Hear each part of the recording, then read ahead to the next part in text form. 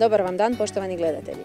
Prošli tjedan obilježila su brojna događanja u Podravini i Prigorju, a detaljnije vam donosimo u nastavku emisije. Ostanite s nama. Sunčano vrijeme i rekordan broj posjetitelja obilježili su 21. dane travnjaka, županijsku poljoprivrednu i sajamsku manifestaciju koja iz godine u godinu poprima sve veći značaj. 21. dani travnjaka nakon nekoliko godina kiše, ovaj put su otvoreni uz zrake sunca i veliki broj posjetitelja na Koprivničkom sajmištu. Prije svega smo zadovoljni s lijepim vremenom jer ga nismo u nekoliko godina unatrag mogli, ajde tako kažem, pogoditi jer je ovo manifestacija koja je posvećena poljoprivrednoj proizvodnji poljoprivrednim proizvođačima s područja Podravine i Prigorja naše Koprivničko-križevačke županije, njihovim OPG-ovima i proizvodima, dakle na otvorenom i vanjskom prostoru. Zadovoljni smo i onaj svake godine poprima zapravo karakter sve, sve većeg broja izlagača. Njih je danas ovdje 135. Manifestacija je trodnevnog karaktera od predavanja koje su se održavala jučer, današnjih izlaganja sutra sa popratnim sadržajima, e, sa starim tradicijskim načinom obrade poljoprivrednih površina, zapravo svaki od nas i svaki od posjetitelja može naći nešto za sebe. Ono što veseli da je ona evo po prvi puta od ove godine i međunarodnog karaktera, kao što je rekao i župan, dakle izlagači iz Makedonije i iz Mađarske i to je zapravo evo, svima nama i organizacijskom odboru, a i nama koji smo osmislili ovaj sajam po 21. puta u Koprivničkoj županiji zapravo na ponos i veselje. Župan Koprivničko-križevačke županije Darko Koren zahvalio je izlagačima koji kroz sve godine doprinose organizaciji manifestacije te istaknuo važnost povezanosti poljoprivrednih proizvođača i prehrambene industrije. Jer smatram da zapravo naša strategija razvoja poljoprivrede, ne samo prostora Koprivničko-križevačke županije, nego općenito Hrvatske mora biti temeljena upravo na povezivanju poljoprivredne proizvodnje i prehrambene industrije tu je naravno potrebna uloga i suport države kroz određene mjere potpore. Župan je naglasio kako dani travnjaka iz godine u godinu rastu, te sve više idu u korak s nekim od najvećih poljoprivrednih sajmova, poput onog u Gudocu. Ovaj naš poljoprivredni sajam dani travnjaka spada u red e, vodećih takovih e, regionalnih lokalnih e, sajmova. Možemo se pohvaliti da je ove godine on također i međunarodni jer su ovdje izlagači iz Mađarske i iz Makedonije. Imamo naravno želju i ambiciju da on bude još veći. Ja se nadam kako će se poljoprivreda razvijati, kako ćemo taj cijeli koncept provoditi u dijelo koji smo zamislili sa prehrambenom industrijom, tako će rasti i ovaj sajam. Dugogodišnji su organizator manifestacije je Hrvatska poljoprivredna agencija, ispred koje se obratio ravnatelj Zdravko Barać. Evo, tijekom jučerašnjeg dana e, održali smo dva predavanja jedno za proizvođače mlijeka i u kratkim crtama ih zapravo informirali o novinama koji je donio pravilnik, novi pravilnik koji definira sustav kontrole kvalitete svježeg sirovog mlijeka. Određene novosti postoje naravno u tom pravilniku. Jedna od bitnih evo i s kojom su iznimno zadovoljni proizvođači mlijeka da putem internetske stranice Hrvatske poljoprivredne agencije mogu u roku od 24 sata nakon provedene analize doći do iscrpnog analitičkog izvješća o kvaliteti njihovog mlijeka i onda normalno sukladno tome dalje organizirati sve svoje poslove na farmi tijekom razdoblja do idućih analiza.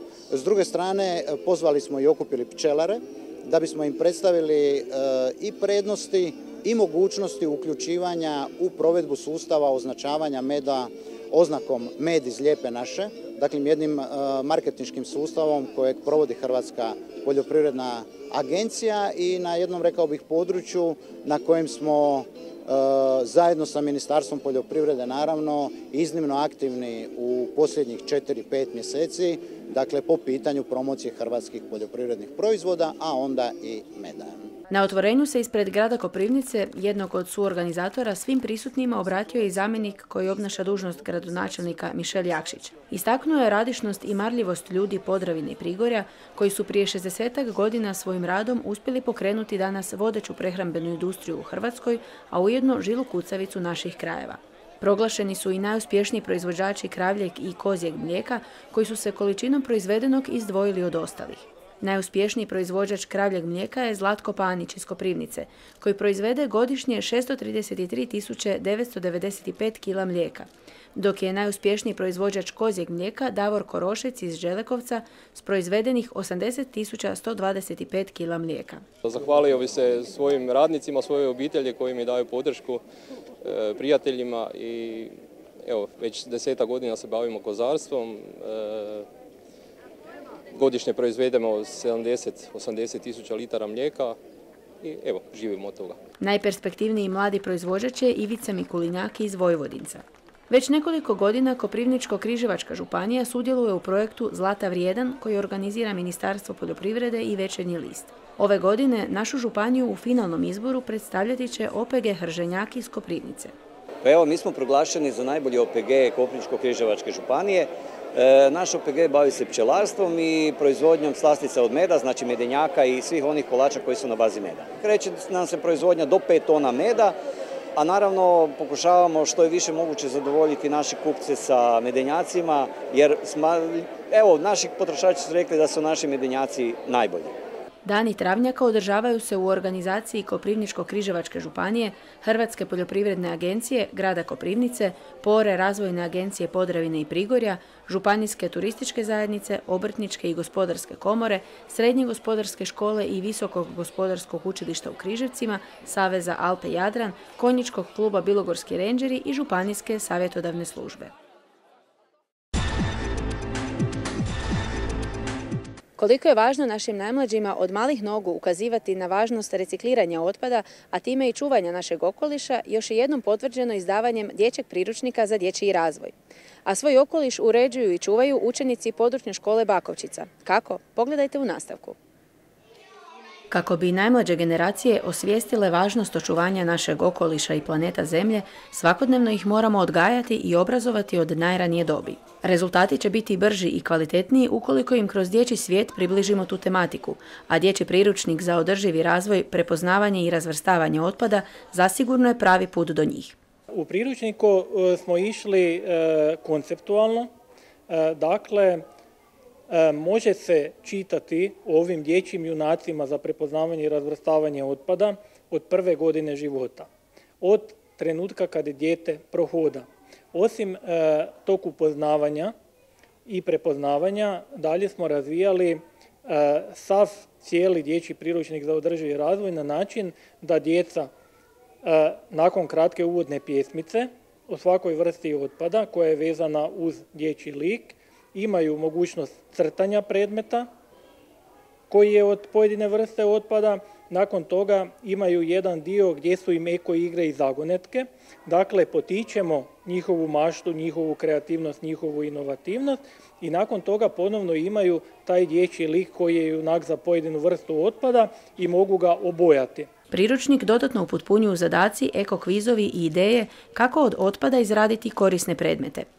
Cilj je da djeca kroz igru usvoje znanja i navike koji su im neophodne. Djeca su i sama sudjelovala u izradi ovog dječjeg priručnika za održivi razvoj i on je već na neki način provjeren jer je izrastao iz njih samih, iz njihovih odgojiteljica i naravno evo iz e, moje želje tamo početkom 2015. godine da napravimo jedan takav dječji priručnik za održivi razvoj. Ilustracije za priručnik izradila je Bojana Kežman, a njeni likovi za pojedine vrste otpada danas su svakom mališanu prepoznatljivi kroz e, rad sa djecom, pogotovo u ovoj temi ekologije, e, zajedno sa gospodinom Matijom, vidjeli smo da nešto takvo fali e, djeci da, da bi mogli povezati određene pojmove u neku cijelinu, da imaju nešto konkretno, a i roditeljima isto da bude neki vodič, znači da nastave ono što mi započnemo u vrtiću, da oni mogu nastaviti sa time kod kuće.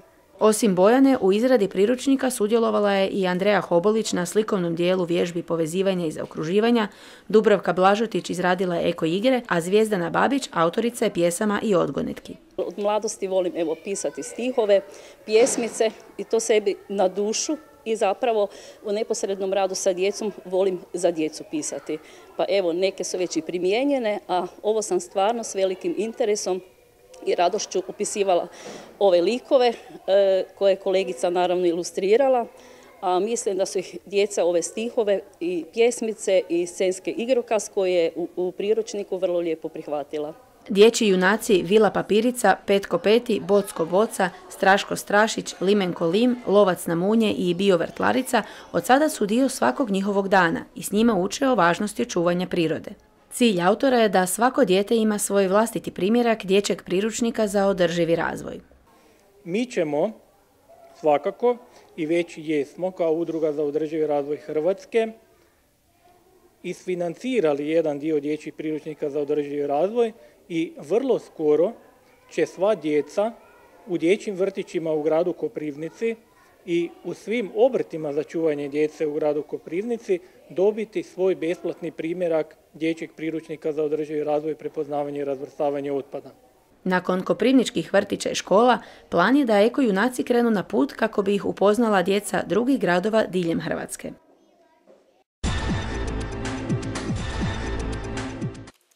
I ove je godine grad Koprivnica donirao ukupno tisuću komada cvijeća kojim su marljivi učenici područne škole Bakovčica ukrasili svoj školski vrt.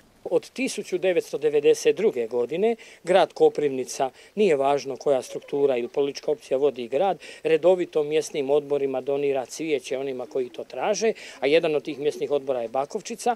Mi sadimo još i na nekim ukrasnim zelenim drugim površinama, ne samo u okolišu škole, a inače ove godine smo se nakon dugo godina opet prijavili u natječaju Biramo najljepši školski vrt Republike Hrvatske, budući da smo mi jedini ranije e, tamo još, moram reći, odmah iza 2000. godine dva puta pobjedili, pa smo omogućili drugima da pobjeđuju. Nismo se evo naticali dobrih, moram reći, 11-12 godina. Sada smo se opet prijavili, hoćemo pokazati da još uvijek ovdje jako, jako lijepo i da mi o svemu ovome okolišu brinemo.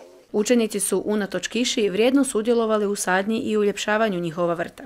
Nama ni vrijeme kada je loše ne može nas onemogućiti u našem radu, onome što smo planirali. Evo, mi smo pri kraju, završavamo, jeste da smo malo mokri, ali ništa zato, baš nam je ugodno. Vidite ovaj polet, elan dječji, koliko dječće ruke su vrijedne i kad se ruke male slože, sve se može, kaže pjesma. Komisija natječaja će prvi put školu posjetiti u lipnju, a finalni dio natječaja održati će se u jesen. Obzirom da djelatnici i učenici škole svoj vrt uređuju tokom cijele godine, vjerujemo kako će i ove godine postići uspjeh, a rezultati će biti poznati u studenom ove godine.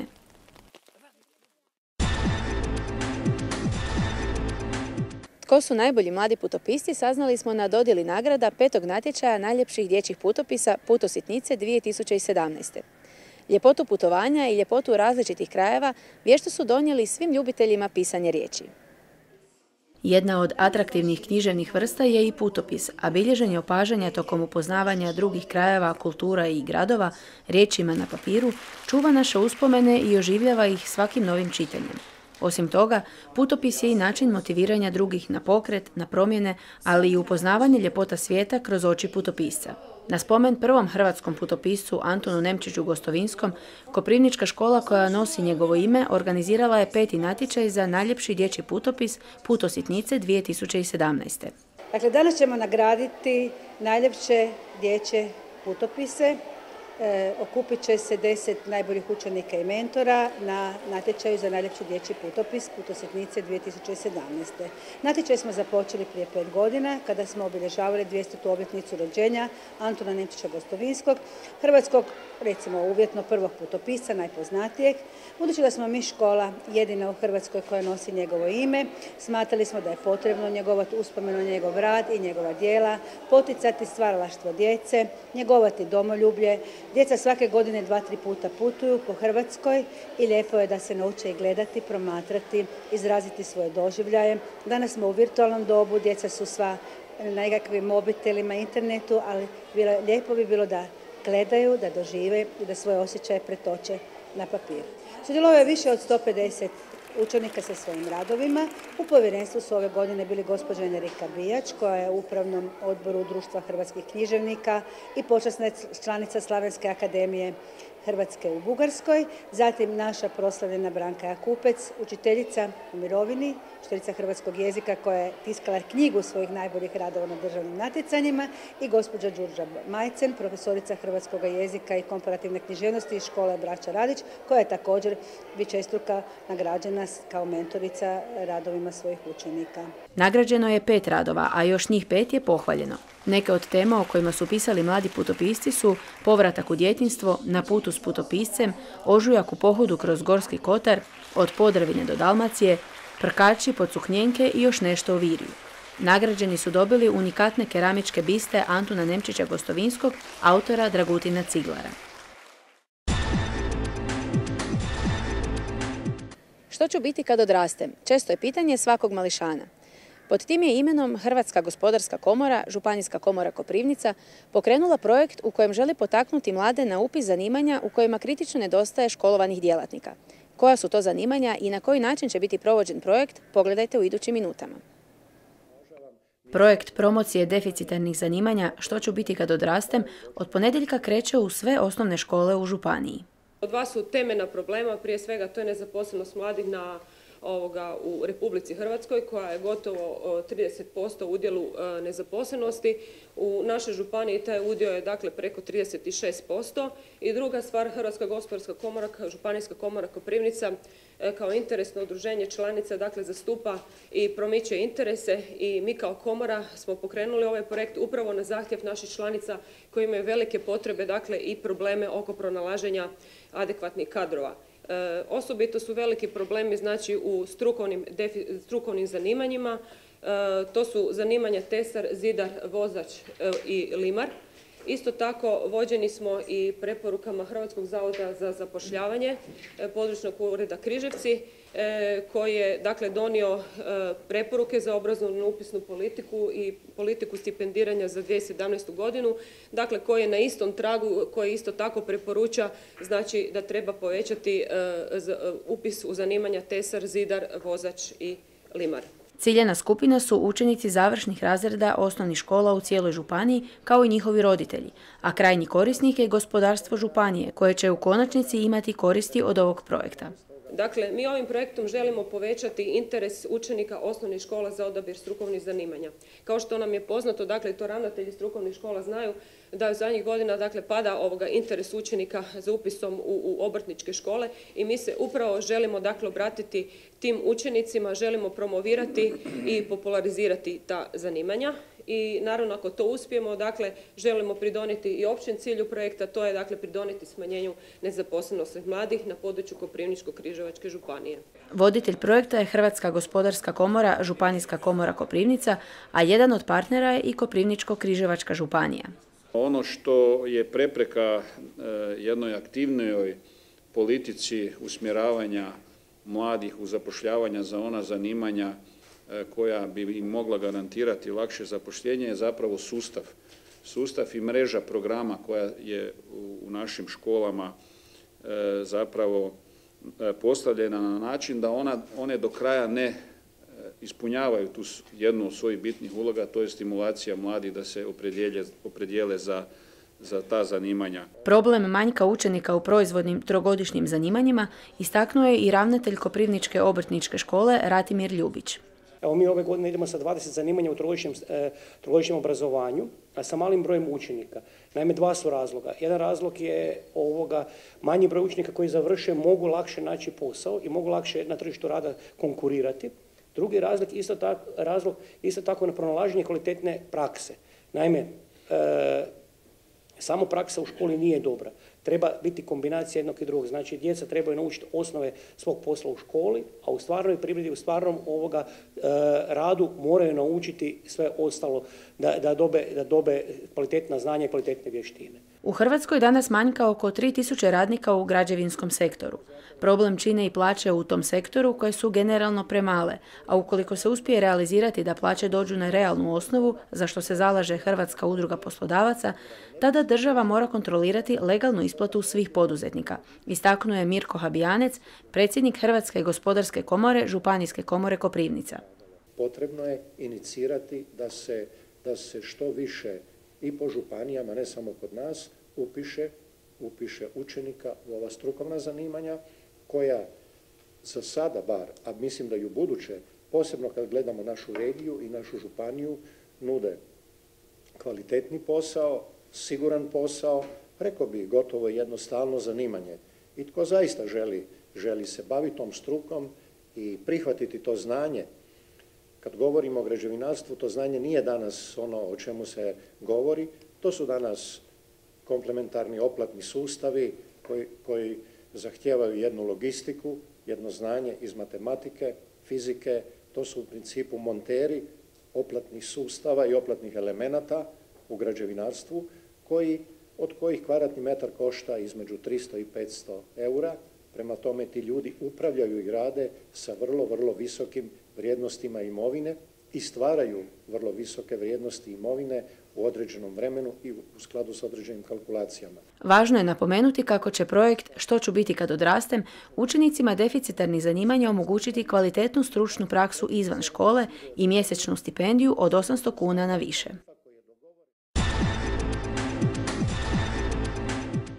Dragi gledatelji, nove vijesti iz Podravine i Prigorja donosimo vam za točno tjedan dana. U nastavku pogledajte emisiju Info Plus Koprivničko-Križevačke županije. Hvala vam na pažnji i doviđenja iz Koprivnice.